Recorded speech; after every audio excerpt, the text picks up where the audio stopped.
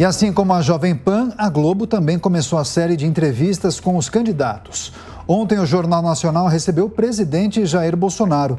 A sabatina discutiu as medidas adotadas durante a pandemia e o presidente foi questionado sobre as críticas contra as urnas eletrônicas. Bolsonaro deixou claro que vai respeitar o resultado das eleições se forem limpas e transparentes. Por essa razão, nós vamos conversar a partir de agora com Marcelo Suano cientista político, e vamos analisar o desempenho de Jair Bolsonaro na entrevista da Globo e como isso pode afetar a estratégia de campanha do presidente. Professor, seja muito bem-vindo à Jovem Pan News. Bom dia, Daniel. Bom dia, Adriana. Bom dia a todos os colunistas, essa maravilhosa equipe da Jovem Pan, esse gigantesco público que acompanha a emissora. Perfeito. Gostaria da sua avaliação. Como o senhor viu a participação de Jair Bolsonaro na sabatina da Rede Globo, do Jornal Nacional? O senhor acha que ele conseguiu expor o que pensa, falar um pouco da sua gestão, apontar caminhos para um eventual segundo mandato? Ele parecia estar bem mais tranquilo do que na primeira ocasião, quando participou em 2018 eh, da sabatina com os mesmos apresentadores. Mas ele também foi bem pressionado pelos dois, né? É interessante. É, a tua pergunta é, ela, ela, configura praticamente aquilo que se esperava e o que não aconteceu. O que nós vimos ali foi uma perda de oportunidade muito grande vindo da, da, da Rede Globo de poder apresentar para o público o que se deseja. Um, um debate sobre projetos, a possibilidade de avaliar realmente a coerência, tentar separar aquilo que é o amador do profissional. Por quê? Porque dizer o que deve ser feito, qualquer amador faz. O profissional diz como. E esse como mediante o quadro que vai ser adotado e os recursos, de onde virão os recursos. Foi uma perda de tempo da, da, perspectiva da Rede Globo, por quê? Porque ficou muito claro para o público que ali não estava uma entrevista acerca do que se espera de um presidente da República, mas foi transformado uma entrevista numa, numa, num, num processo de interrogatório inquisitorial. A, Rede Globo acabou mostrando a sua perspectiva. Houve determinados momentos em que é, ele, poderia, poderia até assistir as entrevistas que foram feitas, sabatinas que foram feitas pela própria Jovem Pan, em que realmente se fazia uma entrevista para, para o candidato. Ali, é, interrupções, a forma inadequada de se referir ao candidato, houve um embate cheio de condicionais, tanto que o presidente falou, colocou um condicional que, da perspectiva dele, era positiva. Por exemplo, quando ele diz respeitarei se a, a, os resultados das eleições, se forem limpas, transparentes. Isso é um condicional que é positivo para a perspectiva do presidente, porque esse é o seu discurso. No entanto, os condicionais que foram colocados pelos entrevistadores, o que é lamentável, por quê? Porque são, são jornalistas de alto nível, mas os condicionais foram condicionais que, de certa forma, eh, tentaram desviar aquilo que foi apresentado ao longo de bom tempo acerca do combate à pandemia. Por exemplo, se puder, fique em casa. Não foi o que aconteceu. Não houve o condicional, se puder, fique em casa. Houve, fique em casa, com em alguns lugares, pelo poder que foi atribuído aos governadores e aos prefeitos, em alguns lugares, os, os, governadores, como aconteceu, por exemplo, no Rio Grande do Sul, ou prefeitos, como aconteceu em São Paulo, ou lacravam determinados locais, ou simplesmente chegavam, como ocorreu no Rio Grande do Sul, e, e, e fechava gôndolas de supermercado porque considerava que aquilo não deveria ser disponibilizado ao público. Em síntese, houve ali uma perda de oportunidade de trazer nível, um nível cada vez maior para o que se espera de um processo eleitoral, em que os candidatos apresentem propostas de governo. Ficou um embate muito claro entre dois inimigos. E começou essa, essa, essa postura de inimizade vinda da perspectiva da Rede Globo, que chegou diretamente e pressionou. No início, parecia que o presidente Bolsonaro iria cair numa armadilha, quando ele disse isso é uma fake news. E aí o William Bonner, se é, incomodado, diz: não é uma fake news, o senhor falou isso, o senhor chegou a xingar, mas ali isso é, é, é de menos importância diante da forma como ficou configurado. Se você observar de uma forma bem fria, uh, não houve alteração do, das perspectivas e muito menos daquilo que se esperava daqueles núcleos que já estão definidos. No entanto, me parece que o presidente acabou muito melhor a entrevista do que, do que ele, ele, ele chegou, porque ele foi, recebeu um embate muito forte de indivíduos que se posicionaram como não seus adversários, como inimigos, mas curiosamente a Rede Globo estava ali para fazer uma entrevista e não para se posicionar como adversário do presidente da República. Porque não é a Rede Globo que está concorrendo à presidência da República, é o Bolsonaro e outros candidatos. Infelizmente, pode-se dizer que foi uma certa decepção. Cientista político Marcelo Suano, agora seguimos com as perguntas dos nossos comentaristas. Diogo Schelp, sua vez. Professor, uma das perguntas é, feitas na, na, sabatina de ontem é, leva a uma questão que é importantíssima em qualquer governo, que é a questão da relação com o Centrão, a tal da governabilidade. Né? Ele foi perguntado sobre o fato de que em 2018 ele se apresentava como candidato da antipolítica e que naquela ocasião criticava o Centrão e os acordos com o Centrão. E que agora tem uma aliança com o Centrão. E aí a resposta do presidente foi a seguinte: é, Bonner, você está me estimulando a ser um ditador. A pergunta que eu faço é o seguinte: é possível governar sem o Centrão, ou qualquer governo que venha, seja Lula, seja Bolsonaro, seja outro, terá de fazer algum tipo de aliança e distribuir cargos e distribuir benesses? Olha, eu te agradeço essa pergunta, porque ela vai num ponto que é essencial de toda a realidade política que nós temos. Tá? É, primeiro, me parece que a resposta do presidente foi, diante da público que estava ouvindo, uma resposta satisfatória. Ele praticamente disse: não há como governar neste país com este sistema político. O nosso sistema político é um sistema que não permite é, um tipo de governo é, no qual você possa tocar projetos de uma maneira tal em que não seja necessário negociar com o Congresso e, de acordo com as metodologias que são adotadas, por, eh, por, por governos específicos, eh, esse processo se torne mais ou menos corrompido. A culpa é do Congresso que é corrupto? Não. Eu digo que a culpa é do nosso sistema político. O presidencialismo de coalizão, ele se mostra com o que há de pior dentro dos sistemas presidencialistas misturados com o sistema parlamentarista. Essa é a grande nebulosidade que nós temos. Dentro da perspectiva que nós temos e a maneira como Bolsonaro começou e a forma como ele tocou o governo, sim, ele dizia, o centrão é deletério. Todos falavam isso. Só tem um detalhe: a forma como ele respondeu foi muito clara. Como eu posso governar num sistema político como esse, dentro, falando na linguagem dele ou no estilo dele, que tem mais de 300 deputados que configuram aquilo que nós chamamos de centro, pejorativamente centrão não há como fazer um governo adequadamente transparente, respondendo às demandas populares, mais do que propriamente dito aos interesses de grupos políticos, se nós não mudarmos esse sistema político. Ou nós adotaremos um sistema presidencialista real ou um sistema parlamentarista. Da maneira como está configurado, para qualquer ato, o governo vai ser obrigado a negociar com este centrão, que é dito pejorativamente. E aí nós temos experiências que, que foram muito claras.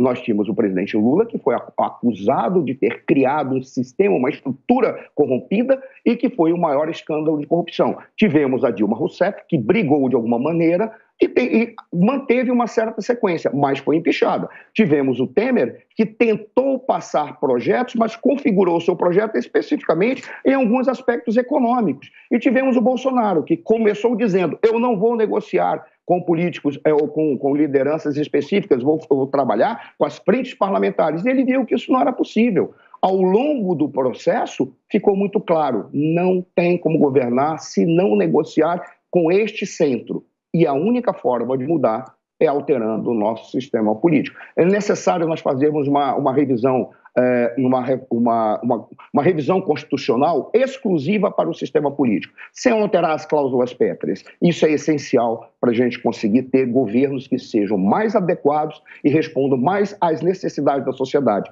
e menos aos interesses de grupos. Na configuração que está, não tem como mudar. E o presidente acabou saindo muito bem, jogando a bola para o William. Diz, mas peraí, o que você está propondo é dizer, passe por cima do Congresso. Como é que eu vou passar por cima do Congresso se não for autoritariamente, se não for utilizando de medidas inadequadas e antidemocráticas?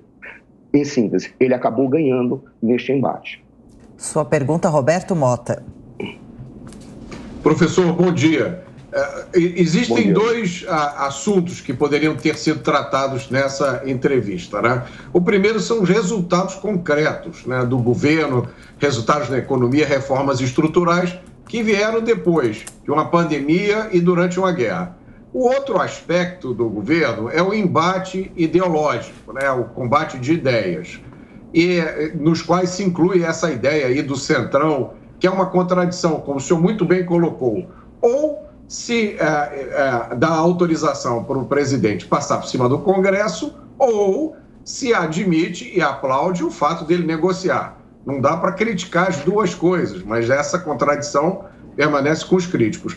Agora, essa entrevista, ela, é, ela foi focada no embate ideológico, na, na, na, produção de narrativas e deixou completamente de lado, ou menosprezou quase por completo, os resultados concretos, que é o que faz a diferença para o eleitor. Né? O cidadão, ele olha o boleto em cima da mesa, ele pensa, poxa, o dólar podia estar 10 reais, o dólar podia estar 15 reais, podia, facilmente, né? A inflação podia estar em 60%, como está na Argentina. Agora, a entrevista não tratou nada disso, ela preferiu focar nas narrativas. Qual é o impacto que o senhor acha que uma entrevista como essa, no momento que a gente está vivendo, pode ter para o futuro do jornalismo político no Brasil? Mota, eu te agradeço essa pergunta e é interessante porque fazer um embate ideológico não é problema. Uh, até mesmo posicionamentos de redes uh, também não é problema dizer eu estou posicionado ideologicamente neste aspecto. Muito pelo contrário, é até desejável que assim seja feito. O que não é correto é ser desonesto intelectualmente colocar a notícia, ou colocar, apresentar a metade do fato, ou direcionar, tentar de alguma maneira mascarar a realidade daquele fato. Por exemplo, sem fazer qualquer critério bajulatório, poderia fazer como a Jovem Pan, a Jovem Pan faz. Coloca o fato por inteiro e põe os analistas para, para, para analisarem. Essa é a razão pela qual a Jovem Pan tem tanta credibilidade. Ora, quando nós olhamos, é, a, dentro da tua pergunta, o futuro do jornalismo político, eu particularmente acredito que haverá um progresso em função, inclusive, das maneiras como as grandes redes estão se posicionando. Já há modelos positivos, tal qual eu citei agora, e há modelos que já se mostram superados. E essa superação fica muito claro quando você tem uma entrevista como esta, que poderia ter focado em por exemplo, poderia ter mostrado se ele tem ou não capacidade de resolver aqueles problemas que são essenciais da sociedade, dizendo como o senhor vai fazer isso, de onde o senhor vai tirar recursos. Esses recursos não estão comprometidos, por qual razão isso ocorreu? Poderia, por exemplo, ter citado a Petrobras, mas não pode citar a Petrobras, porque a Petrobras houve uma jogada estratégica muito grande por parte do presidente, que saiu vitorioso quando todos acusavam ele de ser o responsável pelo preço dos combustíveis. O que foi que ele fez? Primeiro, ele disse: opa, o preço do combustível não é culpa minha, o preço do combustível é culpa dos governadores, vide o ICMS, tanto que eu vou brigar no Congresso para que o ICMS seja controlado. Logo depois falaram, não, mas a culpa vem da Petrobras. Ele falou, opa, mas eu não tenho ingerência na Petrobras. A Petrobras está preocupada apenas com os lucros dos seus acionistas e jogou a bola para a Petrobras. Em síntese, ele ganhou nesse, nesse, nesse embate diante do público e ficou muito bem é uma questão que poderia ter sido colocada. Tentar, de alguma forma, mostrar que ele não teve participação, o que, de certa forma, teve, sim, mas não foi feito isso. À medida que o jornalismo, quando coloca grandes jornalistas, perde oportunidade e adquire um papel que você viu ontem, foi triste, porque não se esperava uma briga entre âncoras ou entrevistadores e um, um presidente da República. Ali houve um confronto direto, deixando de lado propostas de governo tentou-se desumanizar o presidente. E não estou aqui para defendê-lo, estou tentando apenas entender as falhas que foram cometidas. O processo de desumanização vai contra a emissora porque demonstra para o povo exatamente qual é a perspectiva, ou seja, ela perde mais credibilidade. Eu diria que o futuro do jornalismo passa para restaurar aquele jornalismo raiz. Coloca-se o fato inteiro e não parte dele e apresenta-se analistas dos dois espectros ou as, a, os matizes que existem em cada espectro para tentar explicar a sua perspectiva, o que é interessante e é essencial. Por quê? Porque é exatamente essas perspectivas distintas que permitem que o cidadão, permitem que o cidadão possa configurar o seu posicionamento. Infelizmente, ali foi uma perda, mas eu acredito que, eh, diante dos, dos, modelos que estão sendo apresentados e que tem tanta credibilidade, dentre eles a Jovem Pan, nós temos uma esperança de que o jornalismo político caminhe muito bem. E rapidamente, por favor, professor, para a gente encerrar, dois pontinhos que o senhor trouxe nessa entrevista. O senhor falou que parecia um embate entre dois inimigos. Quando e por que começou essa relação difícil entre o presidente Bolsonaro e a Rede Globo? E o senhor diz Bolsonaro ganhou neste embate. O Jornal Nacional marcou a melhor audiência desde o início do ano, foram cerca de 33 pontos, o que equivaleria a cada ponto pelo menos 70 mil domicílios, cerca de 200 mil ou mais pessoas atingidas pela entrevista. Ele pode ter ter conquistado votos na prática com essa participação de ontem? É interessante, eu vou começar pelo último ponto. É, na, na, participação de ontem, se você viu todo esse índice de audiência, todo esse, esse número, é, isso se deve, muito provavelmente, à presença do presidente da República.